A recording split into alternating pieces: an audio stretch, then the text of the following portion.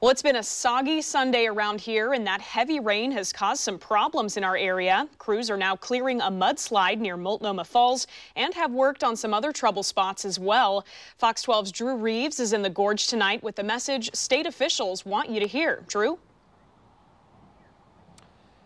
Yeah, we're on the historic Columbia River Highway where the road is closed about a mile west of Multnomah Falls. And ODOT says with this rain continuing, it's likely going to stay closed for a little while longer. And with this weather, they say that you need to be prepared for other slides like this that could happen in other areas.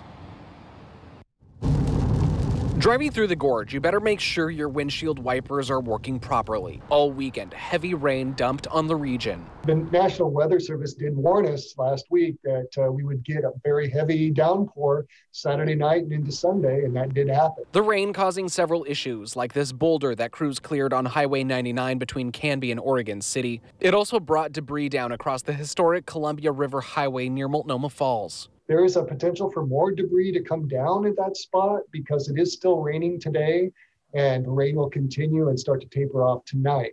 And ODOT is warning that people need to be prepared for another slide like this to happen in other parts of the state. It is cause for additional vigilance, um, both for ODOT, the counties, the cities that maintain the roads, um, because uh, we did have historic wildfires going on.